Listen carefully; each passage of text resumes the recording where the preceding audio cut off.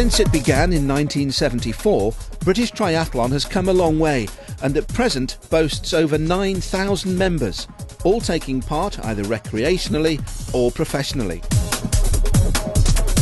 As everybody within sport knows, the help of volunteers is invaluable.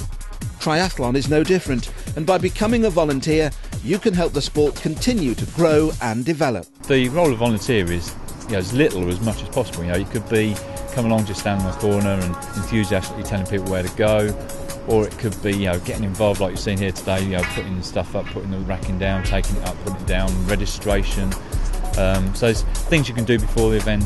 During the event, there's the guiding people where to go, um, timing. There's loads and loads and loads and loads of varied roles. An hour ago, there was nothing here, and you know the, the registration's done, the, the over the side there, the uh, transition's all built up, the finish is all done, all the timing's been tested, all but being done by different people.